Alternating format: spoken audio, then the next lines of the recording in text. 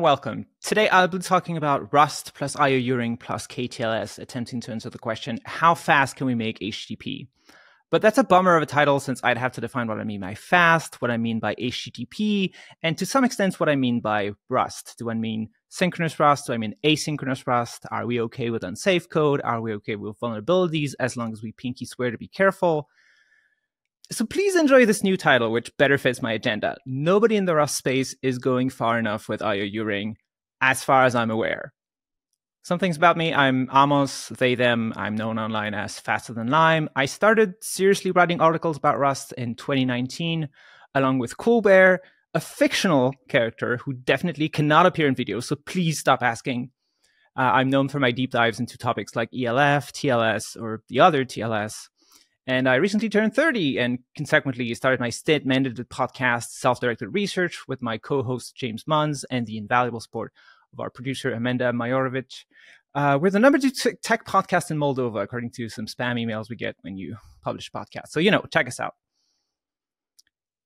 Okay, here we go with definitions. What's HTTP? Well, back in the days, user agents and servers spoke the same language, but now Backend services mostly speak HTTP 1.1, a text based protocol with a lot of room for request and response smuggling, and browsers mostly speak HTTP 2 and 3. My work so far has been focused on HTTP 1 and 2. I'll get to HTTP 3 when I get more funding. That one does away with TCP altogether, so it's a bit more work. There's a lot of tools to measure the performance of HTTP servers, and they're usually focused on latency. If you can answer 99% of requests under 10 milliseconds, that's your P99 hey, that's the name of the conference. Having a lower P99 than the next framework is a great way to brag, regardless of how representative it is of real world performance. Unfortunately, as you may know, Rust HTTP is already fast. Frameworks like Hyper have had a literal decade to figure out micro optimizations. That's right, Hyper was started in August of 2014. I'm sure the Rust fad will end any year now and we'll all go back to serious languages. So I said it's fast. Here's an example. When writing out an HTTP response, you have to write the status code as a decimal number. That's true for HTTP 1, text based protocol, but it's also true for HTTP 2 and 3. Uh, colon status is just a pseudo header. It's still a string, it's the decimal representation of the three digit status code. And Hyper has the status code as a non zero U16 because why not? All 900 possible values from 100 to 999 inclusive fit in there. But that means we have to format it as decimal when we want to write an HTTP response. Now, the standard library comes with formatting code, which on this benchmark takes about 21 microseconds to format a status code. The itoa crate does much better, especially if you can use their stack allocated buffer type. But as you already know, the fastest code is no code at all. And in this case, our mystery winner is a 2.7 kilobyte lookup table composed of all possible three digit status codes concatenated together. Note that lookup tables are not the answer to everything. If they're too large, they'll thrash the cache and become slower than just doing the computation in the first place. And that's a good reminder. Network services are not demo scene entries. We're not optimizing for smallest data structures. We're not handpicking CPU instructions outside of specific use cases like image processing and constant time operations for cryptography. We are, however, very interested in reducing the overhead when it comes to I/O because our storage and our networking have gotten really fast. But doing syscalls has become more expensive over time due to mitigations for hardware level vulnerabilities. At least that's my impression. By giving this talk, I'm sure that if I'm wrong, I'm going to find out really, really fast. So faster IO, but slower syscalls, kind of the perfect storm for a model like IO Uring, which is true async all the things. You can submit operations with a single syscall, not just a batch of buffers like vectored writes, but a batch of any kind of IO operation, really, like network, file system, even few futexes, even madvise for some reason, and even polling file descriptors. In theory, IO Uring should crush everything. But there is one snag with Rust specifically, the only language I will accept to write all this stuff in until something better comes along. There is one snag with the way IO has been modeled in the Rust type system up until now. Say you want to read from a file descriptor, you pass the read method an exclusive reference to a buffer, a mut byte slice the whole time read is running, nobody else gets to write to that buffer or even read from that buffer. That's what holding a mut t means. You have exclusive access to it for now. You can lend it to the kernel for one syscall. And as soon as that syscall returns, you again have exclusive access to that buffer. It's important to note that these are the semantics of the read syscall in every language. Rust just gives us one way to describe them explicitly and have the compiler check them. In this function signature, buff is essentially a pointer, but we can tell that the function is not allowed to hold onto it after it returns. If that function is safe for Rust, then that rule is enforced by the compiler, and if it's not, then it's enforced by being very, very careful.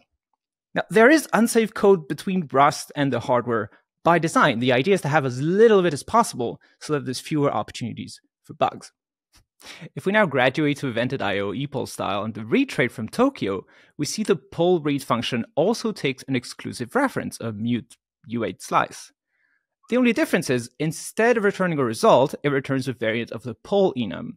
Poll ready if the read happens successfully or not, and poll pending if the read would block, which indicates we should try again later to know when, we need to register our interest in a file descriptor becoming readable. To do that, we need a context. So actually, I lied, and the function looks more like this.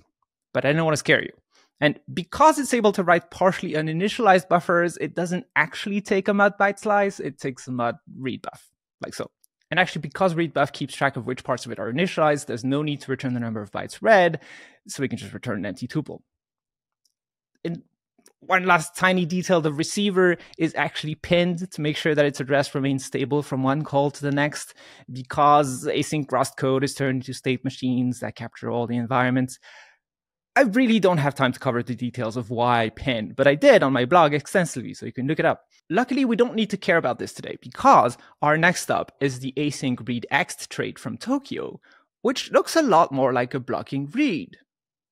In fact if we put them next to each other and we use the async await syntax, then they look almost the same.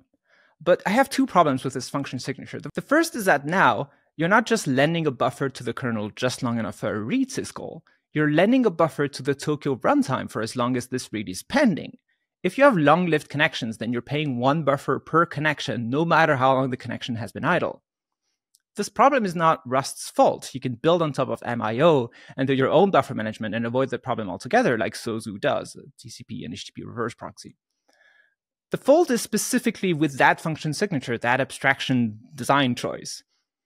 And my second problem with that function signature is that it's fundamentally incompatible with IO Uring because of async cancellation. So I guess we do have to learn async Rust after all. In a perfect world, IO operations are never canceled. This function allocates a buffer, calls read exact, which in turn calls read, and then one of two things happen. Either the read succeeds immediately, it writes to the buffer, and we can return, or it doesn't, and read registers its interest in the socket becoming readable and returns poll pending. That bubbles all the way up to the Tokio runtime, which goes, all right, I guess I'll try this task again when one of the things it's interested in has happened.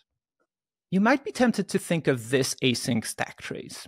But this stack trace exists only in your mind. The real stack trace looks more like this, where each future, the thing in the pin, stores all the local variables it needs and addresses for all the variables it borrows, but also a state machine. Because yielding to the runtime involves all those functions returning. So when it's time to resume the work, when the socket is finally readable, each of these must remember what it was doing so that we may rebuild that stack trace. And it also means that if you somehow lost interest in that future, if some timeout has elapsed or something, you can just throw away the whole thing and just never pull it again. And that's what's happening in this code. The first time around, read exact is pulled.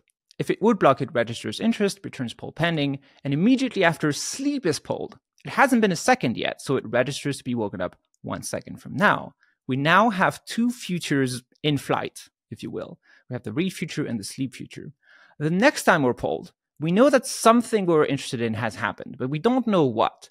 So first we pull the read future, which immediately returns poll pending, and then we pull the sleep future, and that one's ready. At which point we throw away the read future, which means the buff that was mutually borrowed by the read future is no longer mutually borrowed, which means it can drop and we can free it, which is fine because in this version of the code, buff can only be written to when our code is being executed, when it's actually making a syscall, transferring control to the kernel, landing it the buffer just for a function call. But with IO ring, the write happens in the background whenever the kernel wants to. Our future gets pulled after the fact when the write has already happened. So if the sleep completes first and we throw away the read future, then as far as the type system is concerned, we're good to mutate the buffer again or free it, but the kernel also thinks it's fine to write to this buffer whenever the read finally completes. And so we've got to use after free here. Our code is no longer safe, which means we've messed up the type modeling of our program. And you may be thinking, surely there's a way to stop the kernel from writing to the buffer. Surely we can cancel that read operation. And that's what the developer of the Rio crate thought too. They made their functions return a future type named completion that has a drop implementation. And that drop implementation waits for the in-flight IO operation. That would be a good place to cancel the operation and wait for the kernel to acknowledge the cancellation. There's just one problem. Drop implementations are not guaranteed to run if we make our evil code slightly more evil and we leak the read future instead of dropping it, then no cancellation is happening. So we still have a use after free. We, we still get to use the buffer even though the kernel still thinks it can read to it. And uh, yeah, that, that use after free uh, was discovered in 2020, has a nice little CVE with a score of 9.8. I would show you the discussion from GitHub, but uh, it's, it's gone. And that's why the only interface that's safe with IO Uring in Rust is to give ownership of the buffer to the read future and to only get it back if the read completes. That's one of the interfaces used in Tokio Uring, and that's not even taking advantage of the newer stuff in IO Uring like provided buffers, multi-shot operations, and many other goodies. With an interface that different, we would have to completely rethink buffer management and rewrite everything from the ground up against that new design instead of the classic Tokio IO traits. And surely no one would bother doing that. I, I did. That's what I did. I started implementing HTTP1 and HTTP2 on top of this style of IO interface. I called it Luna. It uses something very similar to Tokio Uring, which means it doesn't take advantage of the more advanced stuff yet. But before going any deeper into this, I wanted to answer the question is it even worth it? With just syscall batching, do we get any measurable performance increase? And this is a pretty hard question because, as I've mentioned before, performance can mean many different things and it's famously hard to measure. There's noise and everything. It's like it doesn't want to be measured. So, first, I spent a couple years making sure that my HTTP 1 and 2 implementation was actually correct because it's very easy to beat someone else on latency if you do a fraction of the validation they do. I ended up porting H2 spec from Go to Rust so that I could run those as unit tests, which, if nothing else, is a very nice thing to have come out of this project. And then as the P99 conf loomed closer, I realized it was probably time to actually measure my thing. I've tried to avoid common mistakes. If you're targeting Linux servers, don't benchmark from your MacBook. In fact, don't benchmark from any laptop because of power management. Do not put the load generator on the same physical machine as your test server, otherwise, they're going to be fighting for resources do not saturate the system because as you approach the maximum load, things start getting weird. The numbers don't mean anything anymore. You know, your basic stuff. So I did my best on short notice. I got a server grade CPU from a dedicated server on Hetzner. It's a CPU from a decade ago, but bear with me. And I blasted h2load at it from another dedicated server. Still, there's so many different things I could have tried. So I asked Sean, who maintains Hyper, his advice on how to beat Hyper in benchmarks. And you know, after I clarified what I was doing in his driveway, how I got his home address, etc., he suggested that Luna, my implementation, probably didn't stand a chance against Hyper in a test with lots of small requests, but with a few large requests, it probably did. So I did a first series of tests trying to establish how much throughput we can consistently get between my two test servers comfortably, with both uh, Hyper and Luna set to single core mode without going too high in utilization, something repeatable. And then I set up an automated test harness orchestrated with Python to run h2load and the test servers on remote hosts, warm them up, and measure how many CPU cycles the servers spend trying to serve the same kind of traffic. I did three runs for each combination with 20 second warm ups and two minute measurements to try and account for noise. I wish I had time to do better, but the standard deviation for most of these is under 5%, which I already consider an accomplishment. So without further ado, I give you how many cycles Hyper and Luna spend to serve a few big requests on the left of the graph. And as we move right, we serve more and more smaller requests for the same overall throughput. I think I accidentally made a benchmark about HTTP2 overhead, actually. Sean was bang on, by the way. Luna does spend fewer cycles for large bodies, but things reverse pretty quickly as the parameters change. And you know what my favorite um, and you know what my favorite hypothesis for this is? It's that my toy memory allocator that performed so well on micro benchmarks, I think it's actually pretty bad. And I think the system allocator is actually doing a lot better when we have that many buffers flying around. I'm not even going to show you latencies. They're very comparable. Unfortunately, for this test, the client and server machines were in different regions. So the main thing you see is the round trip time. Luna supports TLS via Rust rustls for the handshake and kernel TLS offload for the rest.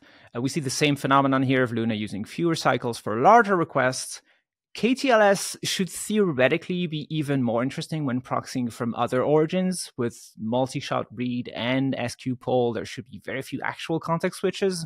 I'm especially excited to measure this on network interfaces that do TLS encryption in the hardware rather than having the kernel do it. Which brings me to what's next? Uh, the, the, benchmarks are repeatable, which is huge. Now I'm able to actually measure any performance improvements I make to Luna, which is surprisingly hard. I want to add more benchmarks. I want to proxy HTTP1 services. I want to serve files from disk. I know Tokio has a lot of overhead here because they're doing blocking file IO from thread pools. Uh, I want to try the newer IO Uring stuff. I want to register file descriptors. Uh, I want to try the buffer ring buffer. Yes, that's the thing. I want to try zero copy send message, which is different from message uh, zero copy. Don't get it mixed up. I want to try to push server hardware a lot more. I want to measure like Tokio multi-threaded versus sharding requests to multiple current thread runtimes like Glommio does, another Rust async runtime. And looking at my flame graphs, in fact, I would like to move off of Tokio altogether and use a runtime that's entirely based on Tokio Uring because we don't need to do atomics. Uh, we don't need to use writes to unpark threads anymore uh, if you do thread per core. So th- there's already some crates in that space in Rust, like slings, but uh, I-, I would like something a little more flexible.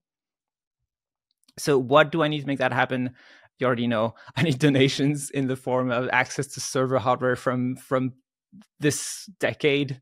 Hopefully, uh, I'm always open to hearing from experts in various domains, like the Linux kernel. That's always helpful. Uh, but most of all, I need funding uh, via GitHub sponsors, etc. This is really fun work, and I would love to continue working on it. But I can't really justify doing it on my own dime. Um, so far, Fly.io and Shopify have been sponsoring that work. Thanks so much to them for that. Uh, but it's time for someone else to take over. I'd say that the use case I'm most excited about is for reverse proxies, specifically Ingress for Kubernetes, because right now we have a choice between fast, which is Nginx, or memory safe, which is Traefik and Go. And I think we should have both. That's it for me. I, I hope you enjoyed this talk. And if you're planning on reaching out to correct something I got wrong in this talk, remember to start your message with Amos, you know I love you, but, comma, and then tell me what I got wrong. All right, take care. Bye.